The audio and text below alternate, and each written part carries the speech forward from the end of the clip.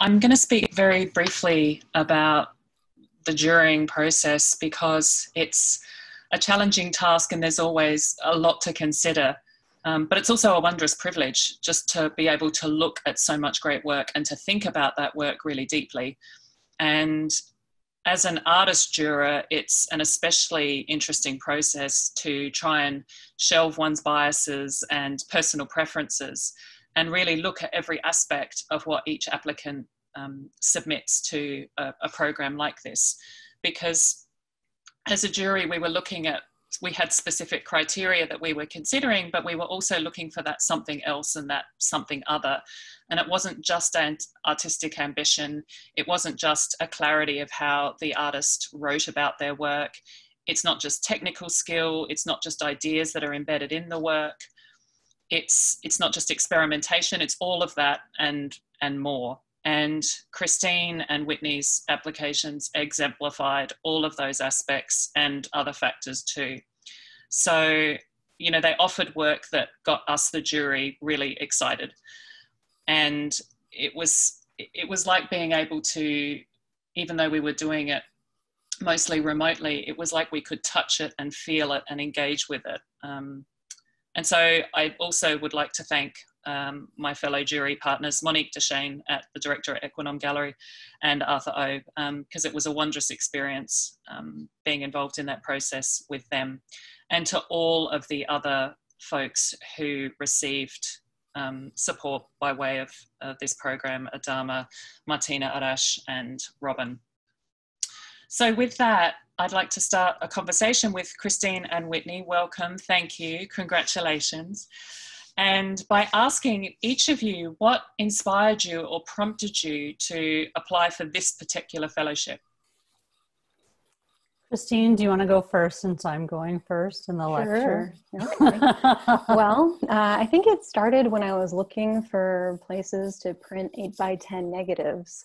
And then I discovered the workspace residency and thought that would be amazing to work in the dark rooms there. And uh, what I noticed that really struck me about Penumbra is that there's an equal emphasis on concept and materiality. And it seemed like a really special place in that regard of balancing that together.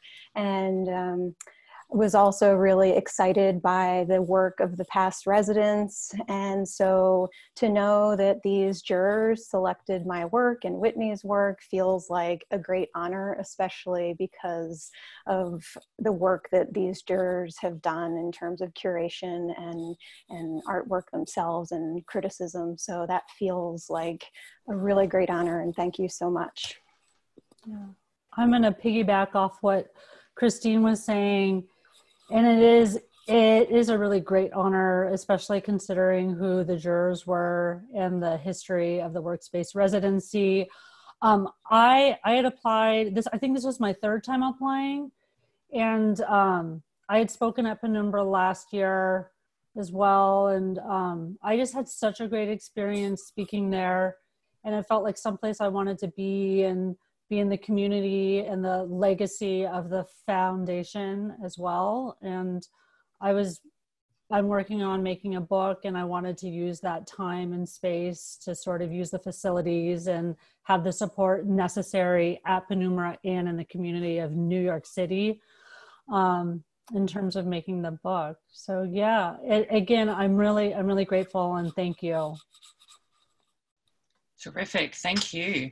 So with that, so that we've got time for audience questions and time for individual questions with each of you, let's start with Whitney. And Whitney's going to talk about her work and what work she applied with, what new work Whitney has started since the grant was awarded. So you will get to see some work in progress, which is always a lovely opportunity too, um, both for those who are watching and listening, but also for the artist. Um, I think I find that when when I'm speaking about work in progress, it's it allows me to solidify ideas or to talk about ideas that might be in the work that I haven't thought about, or vice versa. Um, so, Whitney, over to you for the next okay. 10 minutes to tell us what you would like to share. Just bear with me as I screen share. Odette, I see you, and you can see this as a as just a regular screen, right? It's perfect. Thank okay, you. Okay, all right, here we go. So, um, what I want to do is kind of give you a quick background. I grew up in LA, and um, I was in high school in the '90s, and I saw these three individual shows. I saw a Robert Frank show, a Cindy show, and a Robert Mapplethorpe show, all within a, like a two-year time frame and I think these three shows really shaped how I approach picture making. And that's sort of in terms of this like performative element, photograph everything in this sort of way of framing my life in very specific narr- very specific narratives. Um, and I'm just going to speak really briefly about where about where I'm coming up from. Um, I have, so this, as you can see, it was 2003 to 2005 in my undergrad. I was taking self portraits and photographing my friends. And what I think what really interests me, especially in terms of the self portraits that I'm like the first and the third, is I became interested in a personal narrative in terms of self rep, self representation, and using the tool of drama to heighten certain experiences I wanted to perform in front of the camera with. Um, I've always used for I've always used picture making as a way to reflect back onto me, and it's always been about my vision. Yet it's also been about my experiences and the visual world that has shaped my vision. I'm just this is like a brief introduction to sort of what I do. 2007, I got very interested in black and white photography, returning to LA to go to grad school and what I'm going to show are three pictures, including this one from a series. The song itself is already a skip. And um, what, and looking back, it's basically the way I shoot is never so much I, I know what I'm doing while I'm making the pictures. It's more like I make I make the pictures, I sit on them for a while, like, you know, I don't I don't show them, I don't I just sort of like store them in a separate place and I'll go and look at them and start having a seeing how the conversation occurs. And what I'm just going to show three pictures from this series. What started to happen with these three, I'll, I'll kind of go back, is I started realizing it was about what was hidden as much as revealed in terms of the, in terms of taking the picture and in terms of the photographic print as well. Excuse me. Um, doing good on time. Okay and so i and also this sort of this term this like term of drama i was interested in which continued on from the from the color self from the color self portraits and then in 2014 for for a couple of years. I wanted to try something really different again. I wanted to go back to color photography. I wanted to go back to shooting film and color and um, i was interested in form with the black and white pictures but I was more interested in this sort of gestural form of the female body. And basically, I'd been looking at the female body ever since I started looking, you know, like I was looking like looking at magazines, TV, films, billboards. I grew up in LA, so billboards were all around me and seeing how the female form was depicted. And I kind of wanted to respond to that. And also in terms of photography's historical narrative like Weston and Imogen Cunningham and the sort of modernist photographers and how they shaped the female form in terms of their practice. But then I also wanted to include myself in this project. And that was because I wanted to place myself in with these other female friends that I was photographing and that were posing for me. And in terms of talking about the gaze, I wanted the gaze to be reflected back onto me as much as them.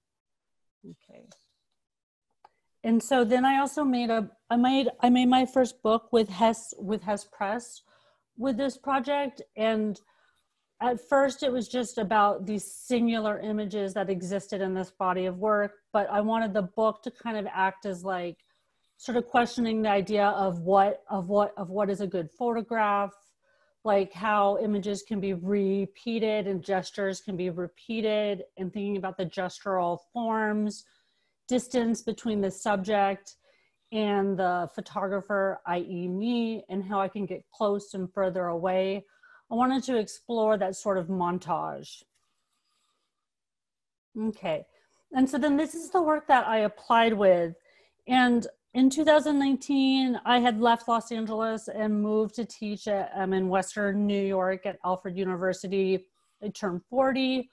Like there was a lot of transitions in my life, and I didn't know what to photograph but I knew I was going through, like, I don't want to say changes, but I knew I was like leaving my young adult self and entering into like a new stage of life.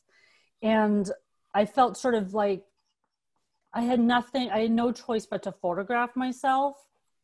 And so, what I want to show is um, images from a show I did at my gallery in New York called Sit, called Situations Gallery and as you can see here, there's three black and white pictures, and there's also a mirror and um, with a bunch of contact sheets on them. And so, and I'll get into the self portraits in a second, but the show was called Animal Hole Selfie. And basically, I took these ideas of what I had been photographing animals, holes, and self and self portraits over an extended period of time. Those were the three things I was interested in in terms of how I was wandering around and taking pictures. And I use this umbrella metaphor of animal holes and selfies to shape the show and turn inwards. And I'll just show the horses, the the three black the three black and whites before I keep talking.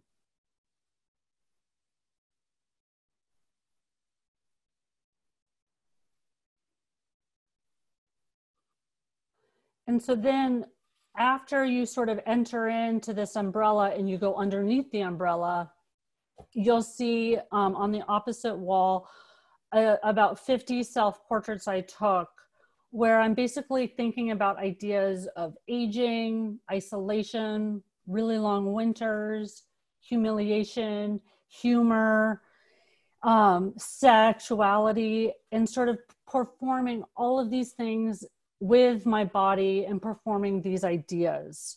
Um, I made these choices to shoot the black and white pictures with a six seven camera, a Mamiya seven, and then I went in and photographed myself with the four with the large with the large format camera on color film. Basically, like choosing to structure and stage and stage my and stage my body as I would like an art installation or a sculpture I was making. And then I made these four by five contact sheets at Lux Lab in New York City um, in their color lab. And I and I taped them to the I and I taped them to the mirror. And that was it was it was a very condensed, intense show.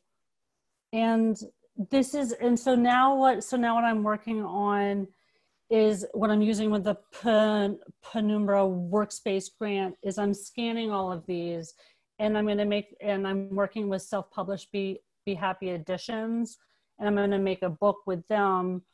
Um, and so that's kind of where and that's kind of where i'm at now. But i also want to show you what it, it and it's actually only one picture I wanted to share because I'm, I'm, I'm like very private and I've been spending my time scanning in images and fixing those and doing the sort of match prints. But I wanted to just, it's very different from what I've ever photographed in some ways, but the pathos is there. Sort of like, this is how I feel now. And so I think what I want to wrap up saying is that I come I come to picture making from this emotional place. I want to express my emotions, but I use certain ways to perf- I use objects or bodies certain ways to perform these feelings and ideas that I'm thinking about. And um, I'm right under 10 minutes and I'll stop screen sharing, right? Or no, by all means, oh. leave it there. Okay, Thank you. Okay. No, that's fantastic. Thank okay. you so much, Whitney. That was tremendous. Um, I had a couple of questions for you. Yeah. I, I loved how you described it as a, a, or the phrase was a tool of drama. Yeah. And then relating that to performance. And then you went on to talk about that process of marination, is what I wrote down, where you're making work and then you put it away or put it aside. How do you know when it's time to lift the lid? I think that's such a great question. And I feel like that's something I feel like it's very like it's very intuitive. Like if I have a deadline, then I give myself enough time or I just know it's time to sort of lift the lid on it. But like I, at, as as I said as I wrapped up, like I it's like this emotional thing, picture making and performing ideas. But I'm also a very intuitive photographer, even though I'm using a large format camera. I always taught photography in undergrad by professors that really encouraged me to just like go out and shoot you know like just follow follow it follow your vision and just shoot shoot shoot shoot shoot and shoot all this film so i would say it's very intuitive yeah and that's and that's how and that's how my practice functions great in terms of the that when you were describing that process of looking, mm-hmm. I, I, thought about a kind of maturity or an expansion of the way we look, not necessarily the older we get, but the more we look at and the more we look through things. Mm-hmm. And I wondered if you could talk about how that had changed and expanded over time from looking at billboards versus noticing something else, that just how that that that growth occurs and the kinds of things that you become more or less interested in the more or less that you look at them and i'm thinking too of your own body when you're photographing yourself over and again that you get to know yourself in a way in front of the camera that is very different to being separate from the device mm-hmm. i mean if i'm clear you're asking me like the transitions from looking out to looking in to performing the body Transitions is, that, is, a great word. I love that. Yes.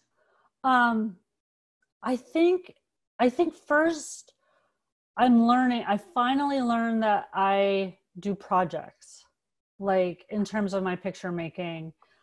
I always thought it sort of all blended together, and then now I like the structure of projects. And looking back, I I didn't know that, but now but now I know that, and I really appreciate that way of working so I think it's more like I'm responding to things I'm thinking about and what I'm looking at. And then basically I'll make a project about it.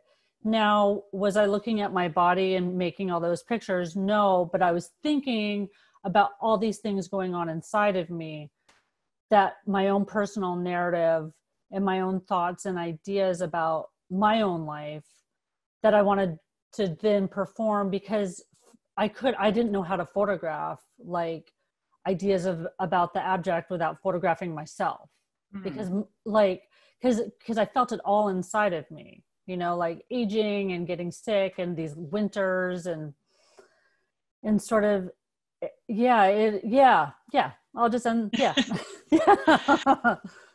and when I I I also really liked when you said you you just felt you had no choice but to photograph yourself. That was it. That was the option. Mm-hmm. And I guess my question to that is also, how did that come to being no choice?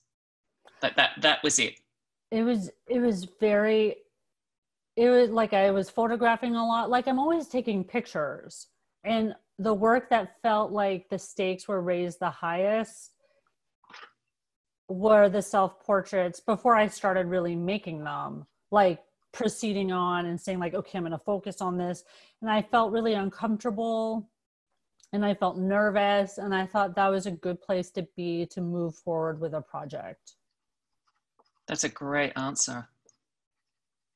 Thank you all right, thank you. So, okay, Christine, we you. would love to hear from you for the next 10 minutes about everything that you applied, well, what you applied with and, and what you've been working on since. Okay. Let's find my screen here.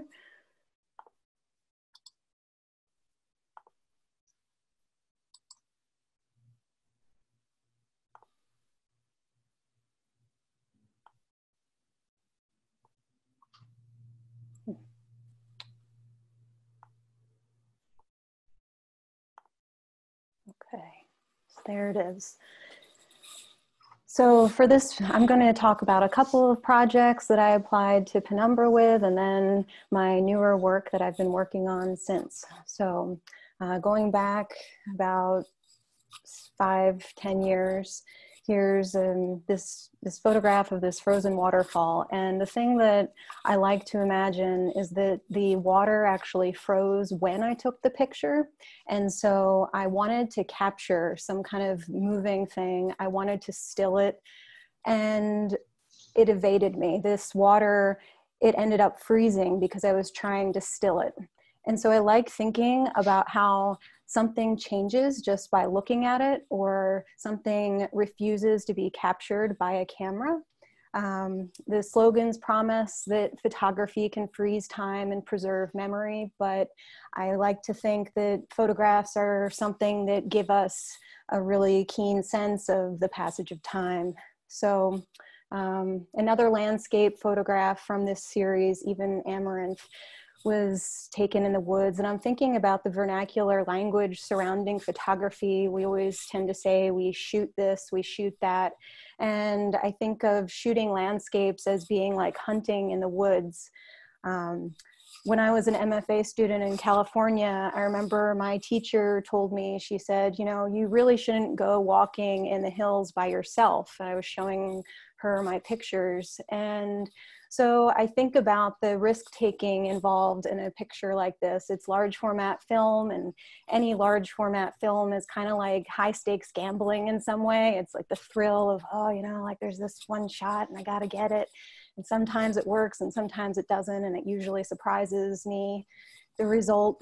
And um, then there's also the risk of being in this place at this time where the, the earth is still uh, has fires underneath of the ground that I could fall into. This is after a California wildfire.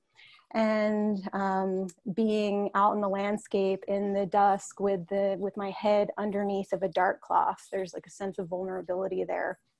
So these photographs are part of my project called Even Amaranth. And this is inspired by the myth of Diana and Actaeon, an ancient Roman myth.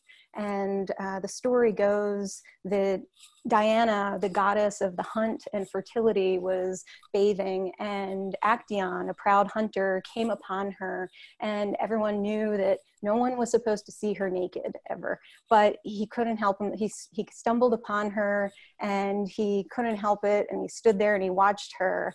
And she caught him. She got angry and she turned him into a stag he ran off and was chased and devoured by his own hounds. So I think it's an interesting parallel to the subtle violence of photography and the subtle voyeurism inherent in taking pictures and the idea of trying to capture nature through landscape photography.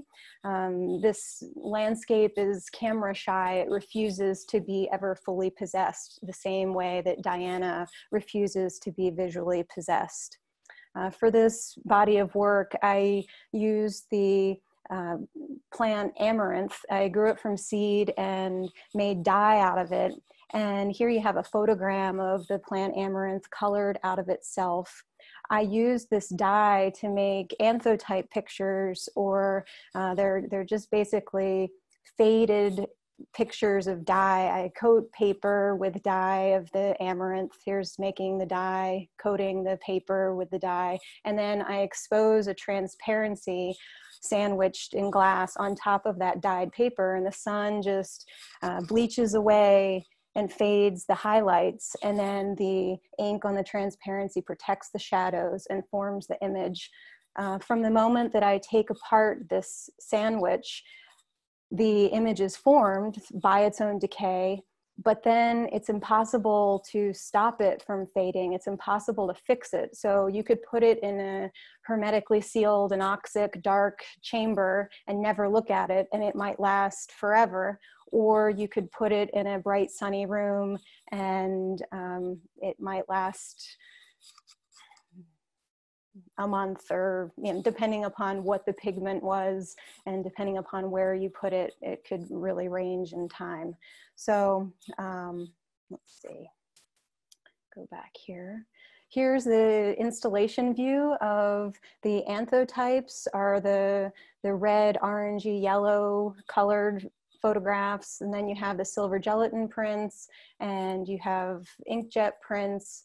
And um, I like to think about how here you have Actaeon being attacked by his hounds as this massive faded picture. Um, they're all contact prints, these anthotypes. So it was um, an interesting challenge to make such a large contact print. And I like how you can walk up to him and he's life size, yet the more you are in the presence and, and looking at him, the faster he disappears. And he is made out of something that I forgot to mention amaranth. It also has this other little uh, puzzle piece connection. It literally means unfading in Greek, and it happens to be associated with the goddess Diana, the goddess of the hunt and fertility that this story is all about. So um, it relates to the, the, the, the subject and the medium, and Diana, she's like represented through the medium of the amaranth plant. So she's there as the medium, but she's never represented through the imagery. She's only evoked through the use of her plant. And then we get to see Actaeon, but the more we see him, the more he disappears. This all reminds me of this quote by uh, Susan Sontag in her On Photography from the 70s. She wrote, between photographer and subject, there has to be distance. The camera doesn't rape or even possess, though it may presume, intrude, trespass, distort, exploit, and at the farthest reach of metaphor, assassinate. All activities that, unlike the sexual push and shove, can be conducted from a distance and with some detachment. So here's the next body of work that I included in my um, Penumbra application. It's called Objects Apparitions and um, another anthotype made from elderberry in this case. And the, the favorite question that people tend to ask about this work is, well, how long will these last? Um, you know, how long are we talking about here? And, and I think it's interesting because it's like asking, well, what is my life expectancy? How long will my, well, anything survive? And that always depends upon so many different factors that it's impossible to like totally calculate. Um, I, I, think it's interesting how they're constantly changing very gradually, and you can only, it's like you, you look at it and it's like looking at yourself in the mirror and all of a sudden it occurs to you that oh this looks older now. This looks different. And i didn't even realize it. It's like seeing the wrinkle in the mirror. We don't see the wrinkle appear in front of us but it gradually happens and then we recognize it. So I like to imagine someone living with these pictures long enough that they become invisible. And I imagine someone coming in as a visitor to someone's house and they look at this picture hanging on the wall that's a frame with this um, kind of color field abstract pale tone inside the frame and they say you know I, I just i just don't get it. Like why do you have this empty picture on your wall?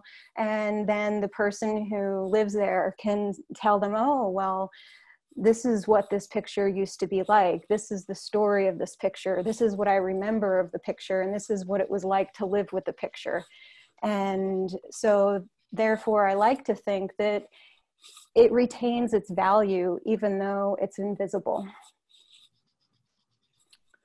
So, um, coming to present day, here in the time of increased isolation, I've been really pushed to make my own workspace. And so here's my garage darkroom that I made this summer. I set up my four by five enlarger and, and everything. So that, that feels really good. My cat Smudge can come visit me while I'm working. And then you have the anthotypes, they expose by themselves, very isolated in a backfield behind my house. And no one can see them and they can't see anyone else. They're also very isolated. I like to wonder what happens while this process of the exposure of like a week's length of time is happening while they're being made.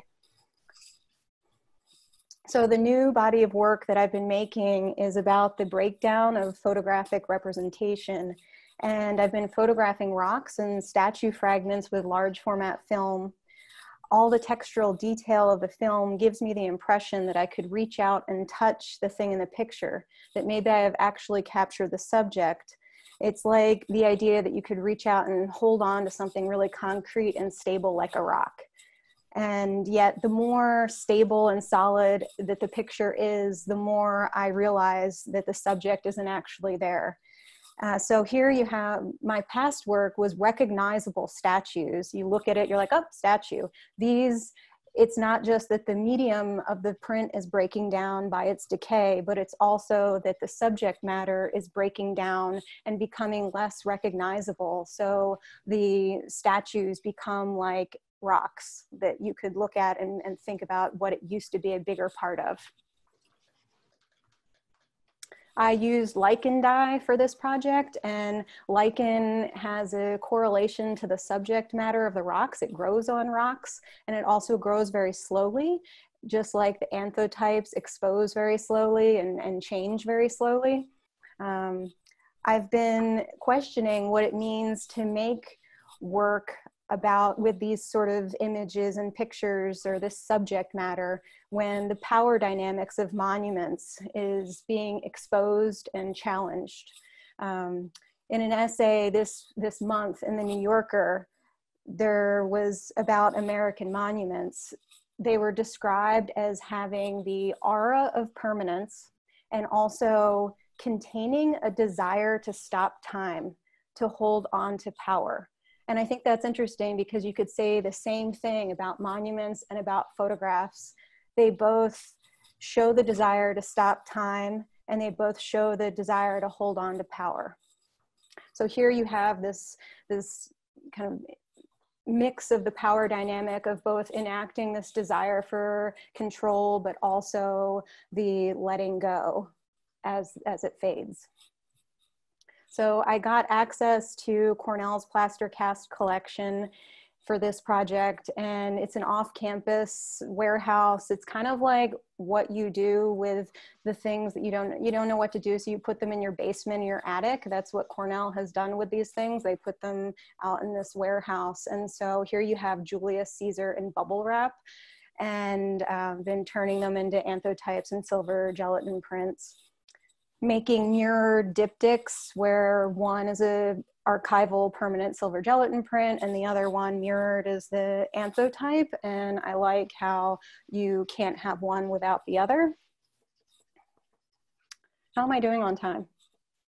You're doing great. You probably oh, okay. have another minute or two. Okay, great, perfect. So this picture was less conceptual, more intuitive and spontaneous. And I, it kind of reminds me of that frozen waterfall picture that I took. I like thinking that when I took the picture, the rocks crystallized and that the rock is somehow glowing with illumination of the moment of being photographed. And um, then this picture is about showing what it feels like for me to look at a gorgeous silver gelatin print or any sort of photograph that has great amount of resolution and detail. So whenever that happens, I get up close and I want to get closer and closer and closer. And I imagine that I could actually reach out and touch the subject. And so here, this is a this is enacting what it feels like to look at the picture. And then this is a brand new anthotype and I'm calling it reproduction. In the past, all of the hands in my pictures were my mother's hands, but these are my hands holding a cast, a plaster cast of my hand from about 15 years ago.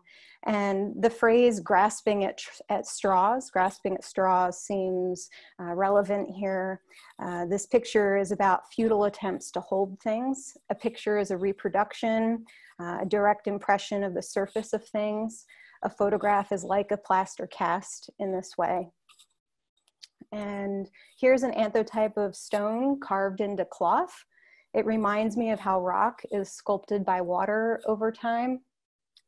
And as the season is changing now into fall, the light is waning and my exposure times go from a week to a couple weeks and even in the depths of winter sometimes nothing even happens when i put it out it's just so dim so working with these natural materials and processes forces me to deal with a lot of unknowns. And alan watts has a good way of describing our relationship to the unknown. He writes quote the more one studies attempted solutions to problems in politics and economics, in art, philosophy, and religion, the more one has the impression of extremely gifted people wearing out their ingenuity at the impossible and futile task of trying to get the water of life into neat and permanent packages, end quote. So I think to myself, we're always trying to control, fix, define things because it gives us a sense of security. But that sort of security is as impossible as tying up water with paper and string. Photographs are like that package of water. They show us how difficult it is to capture life. Alan Watts's message about embracing insecurity seems especially pertinent now in these uncertain times. Thank you. Thank you so much, Christine. There was so much rich, wonderful material there. And I, I was, there was a, the pairing of the rocks about five slides, I think, before your presentation finished there. I was just thinking about how they're mirroring each other, that one is looking it's looking at itself or looking at its own existence or its own mortality mm-hmm. and how that seemed to relate so beautifully to that story you told about what it would be like for someone to have one of your images in their home and be looking at it but then in looking at that they're also not they're not recognizing their own aging process as well whilst recounting then what was in the image itself so there's this mirroring that happens mm. there too I wanted to ask you, I, I loved what you said about, um, you know, risk taking and the subtle violence of photographs. And it made me think about what is it that attracts you most about myths and about photographically reinventing them?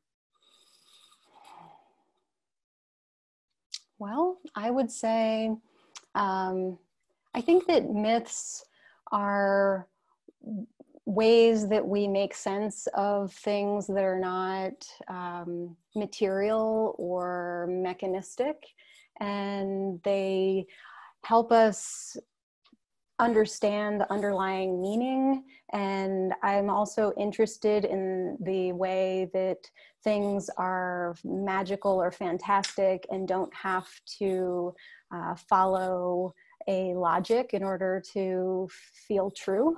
And so um, I think that also a lot of the myths, like for instance in Ovid's Metamorphoses, something happens where like for instance someone turns into a tree or someone turns into stone and i think that those sort of transformations are also something that happens when something is photographed right or when we look at something in a photograph, the subjectivity and transformation of the subject becomes more evident.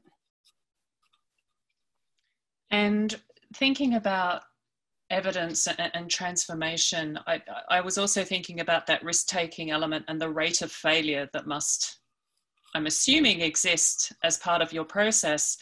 And with the change in season and you describing the length of time, how does one experiment with that as a process because it's quite it's that, that's quite a long time between putting out something for the sun to do its work and then you looking at it two weeks two months later and then realizing it's not doing the thing you wanted to do as opposed to the thing it wants to do. Mm-hmm. how do how do you work with that?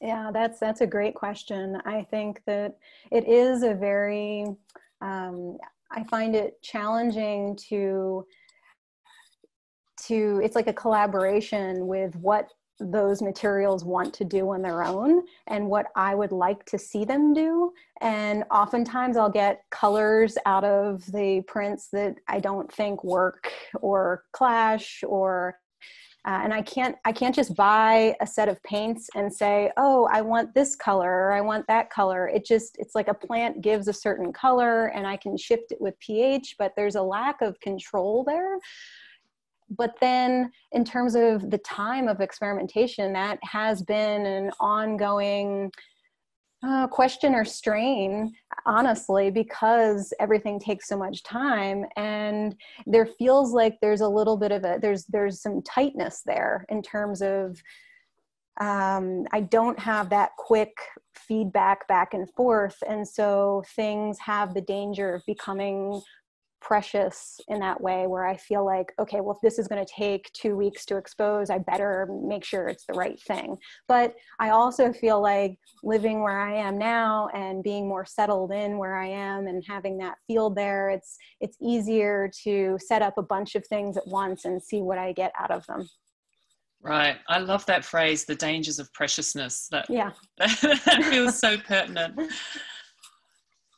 So, thank you both, Whitney and Christine, for presenting your work. And now's an opportunity for those of you who are watching or listening, if you have questions and you want to pop them in the chat box for both or either artist, and I can pick them out um, as we go. We've probably got a good 10 minutes at least. Um, so, now's the time, please, if you've got questions, let's, let's have them.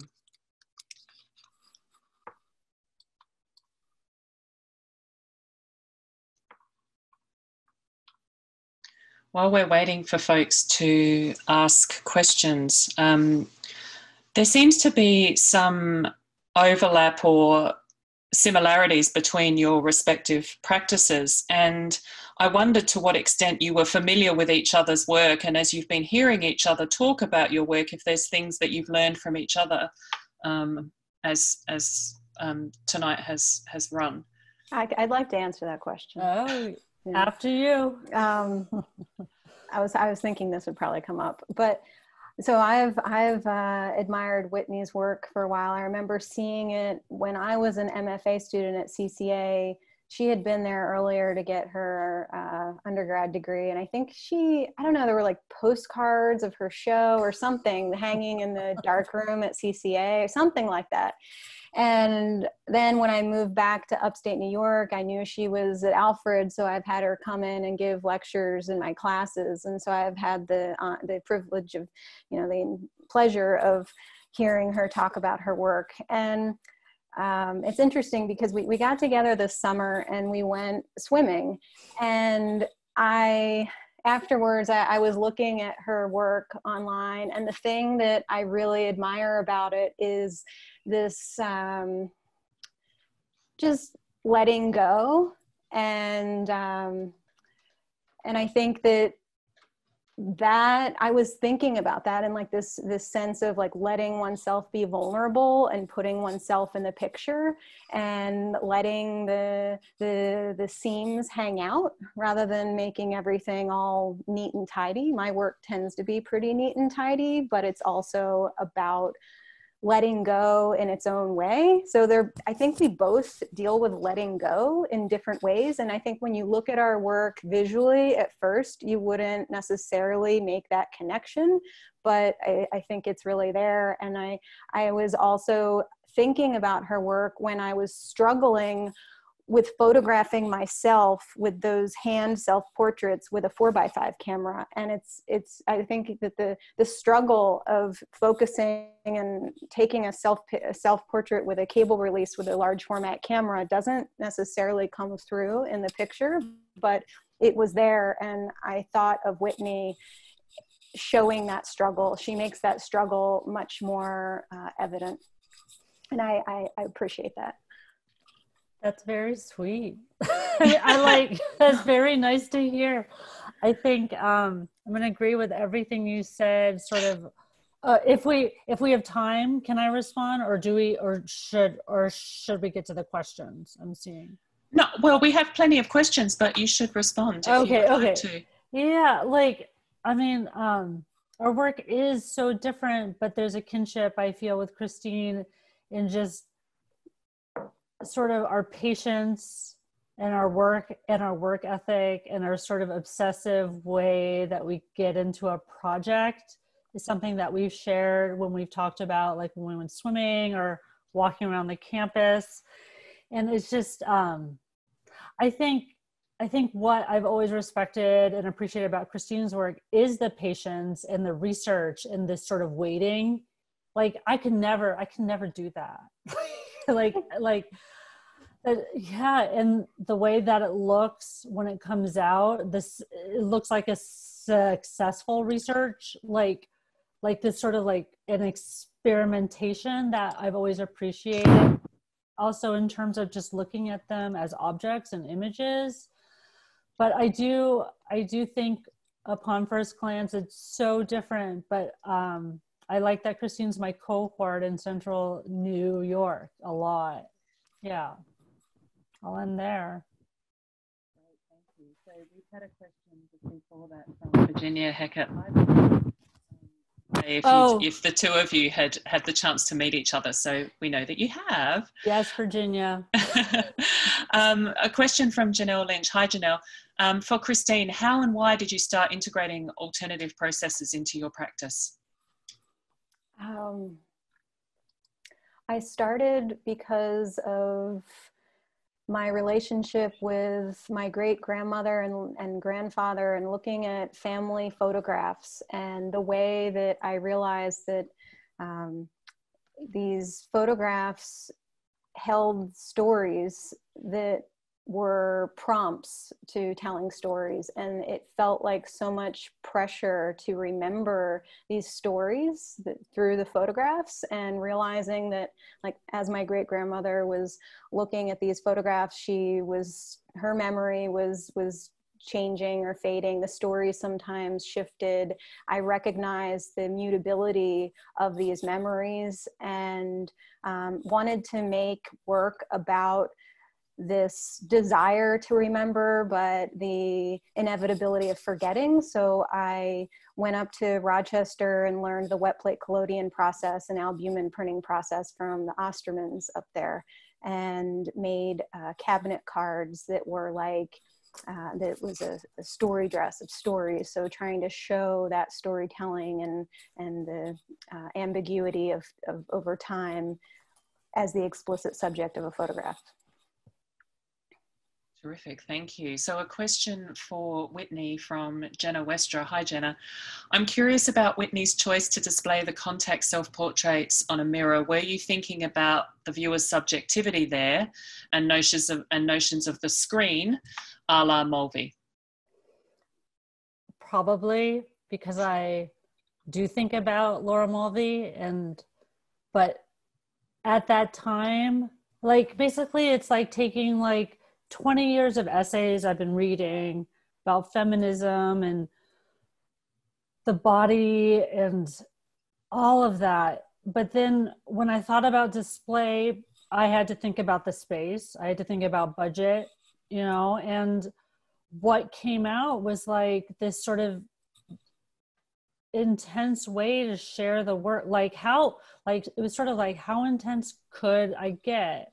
Like how mm you know and i was also thinking about the way that pictures are shared in a more organic natural setting like someone taping pictures to their bedroom wall you know and the mirror referencing a couple other things too like a strip club or a bedroom you know? And so it, it it's like it was piecing together jenna and anyone else but it was like piecing together these things i've read movies i've watched sort of an uncomfortability for the viewer like the viewer had to look at themselves looking at me and this sort of like anarchy way that a bedroom is, is shaped. Yeah it was basically like a lot of different things that shape the mirror and the contact pieces and the contact sheets.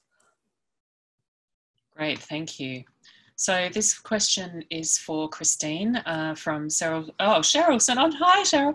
Um, Christine, love this new work. How did you come to understand the dying process of the dying process of plants?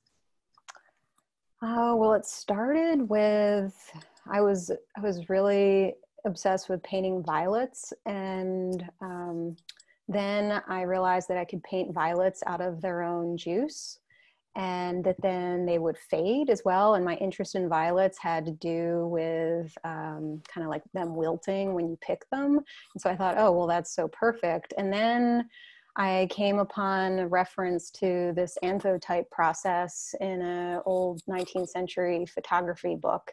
And um, thought that this was a perfect way of of acknowledging the impossibility of ever really fixing a photograph and especially living in Rochester amongst photo conservators at the Eastman Museum and and RIT I, I realized that my interest in historic photographs was really about showing the passage of time. Um, and so I thought, well, this process of making things out of fading is so perfect because you can never get around, you can never circumvent the fading. Right. That's a great answer. Thank you. Thank you. Um, we've probably got time for one more question. This one's for you, Whitney, um, from Jerry Posniak. Hi, Jerry. Um, Whitney, where your images evolving, where will your next project take you? I ask this after seeing the last image of the paper bag.